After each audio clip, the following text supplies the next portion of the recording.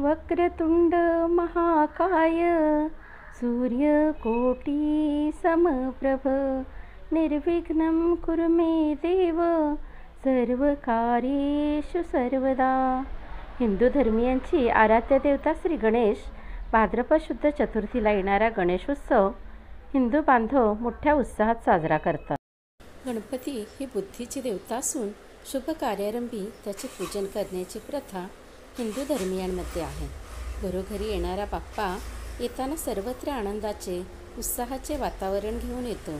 त्याच्या आगमनापूर्वीपासूनच कितीतरी दिवस आधीपासून तयारी सुरू होते. प्रत्येकजण आपापल्या परंपरेनुसार त्याची पूजा अर्चना करतात. कुठे बाप्पाचा उत्सव संपूर्ण दहा दिवस कुठे पाच दिवस तर कुठे दीड दिवस साजरा केला जातो. बाप्पाची प्रतिष्ठापना.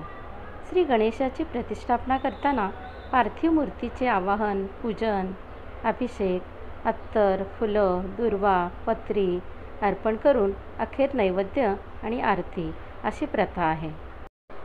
भाद्रपद महिन्यात पावसाचे दिवस असल्याने सगळीकडे हिरवळ पसरलेली असते. विविध वनस्पती उगवलेल्या असतात. त्यामुळे सोळापत्री गणेशाला अर्पण करण्याची प्रथा असावी. यामध्ये अधिकतर पत्री औषधी असलेल्या आढळतात. पुराणात या सणाची माहिती घेतली असता श्री गणेशाच्या जन्माची आगळीवेगळी कथा समजते. ती अशी गणेशाची माता पार्वती एकदा स्नानासाठी जायची असताना बाहेर कुणीही पहारेकरी नसल्याने तिने मातीची एक मूर्ती बनवून त्यात प्राण फुंकले. काही ठिकाणी असाही उल्लेख आहे की पार्वतीने आपल्या अंगाला लावलेल्या हळदीचा लेप काढून त्या मळापासून गणेशाची एक सुबक आणि सुंदर अशी मूर्ती बनवली व तिच्यात प्राण घालून दाराशी ठेवून ती स्नानासाठी गेली. ती स्नानासाठी गेली असता बाहेर भगवान शंकर आले. दारावर पहारा देत असलेल्या बालकाने त्यांना आत प्रवेश करण्यापासून रोखले. तेव्हा शंकराने संतापून त्याचा शिरच्छेद केला. माता पार्वती स्नानाहून आल्यानंतर झालेल्या प्रकाराने ती खूप संतापली आक्रोश करू लागली. तुम्ही आपल्याच मुलाचे प्राण घेतले असे म्हणाले.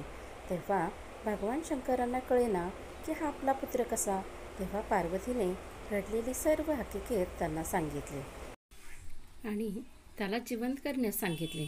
तिचा क्रोध शांत करण्यासाठी भगवान शंकराने आपल्या सेवकांना आज्ञा दिली की प्रथम जो कोणी दिसेल त्याचे शिर घेऊन यावे.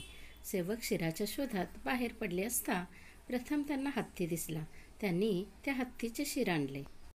ते शिर शंकराने या बालकाच्या धडावर बसवले.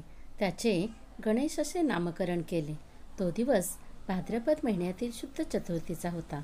तेव्हापासून श्री गणेशोत्सवाची प्रथा सुरू झाली. भगवान गणेशाला दुर्वा प्रिय असल्याने दुर्वा वाहण्याची प्रथा आहे. तसेच गणेशाला अतिप्रिय असणाऱ्या मोदकांचा नैवेद्य दाखवण्यात येतो.